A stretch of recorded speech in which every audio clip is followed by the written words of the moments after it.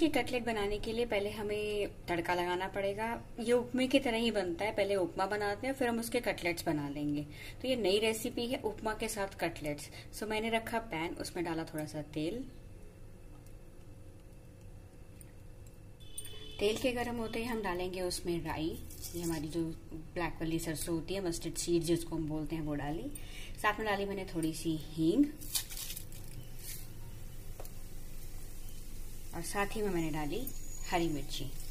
जितनी आपको चाहिए आप उतनी डाल सकते हैं अपने टेस्ट के अकॉर्डिंगली फिर हम इसमें ऐड करेंगे ये प्याज। एक छोटा प्याज लिया था, मैंने थोड़ा थोड़ा कट कर लिया था।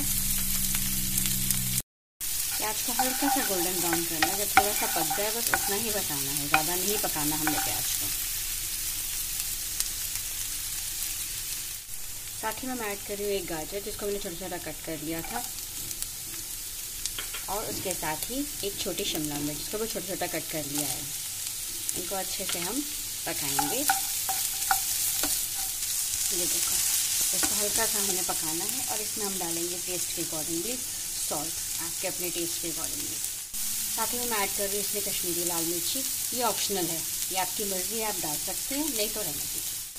ये सब्ज़ियाँ हमारी हल्की सी टेंडर हो गई हैं, बहुत ज़्यादा नहीं पकानी हल्की हल्की खड़ी रखनी है मतलब हल्की हल्की कच्ची रखनी है।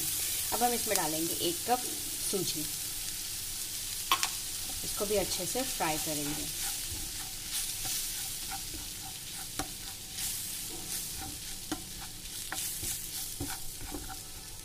ये देखो, इसको अच्छे से फ्राई करना है हमने, ताकि इसमें कोई कच्चापन ना आए।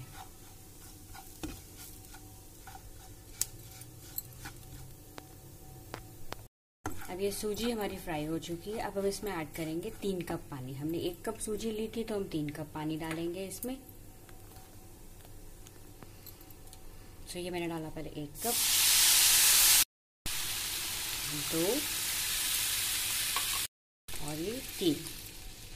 अब इसको हम अच्छे से ड्राई करेंगे, ताकि पानी को सुखाएँगे। ये देखो। अच्छे से इसका पानी हमने सुखाना है, इसको गाढ़ा करना है।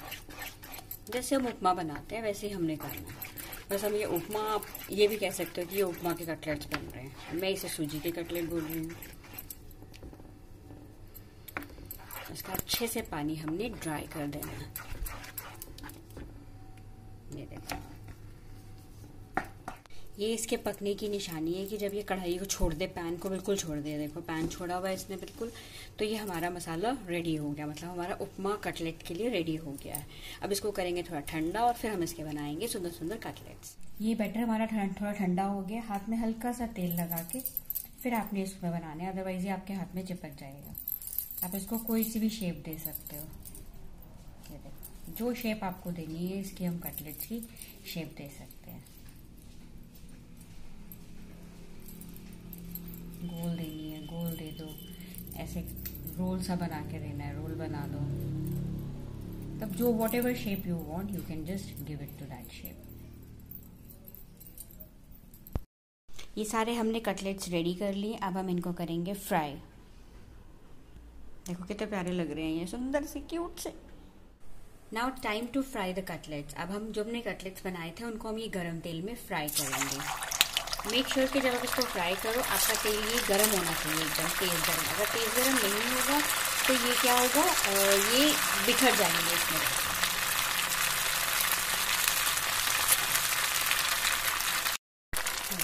इनको हमने अच्छे से अब ब्राउन कलर करना है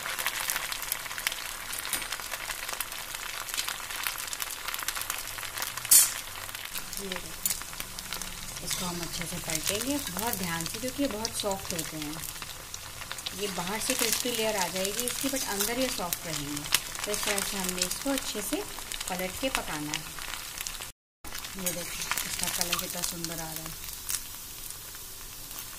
बस दो मिनट और ये पकेंगे और फिर हम इनको कढ़ाई से बाहर निकालेंगे। Look at the color, beautiful. so, ये हमारे कटलेट्स रेडी हैं।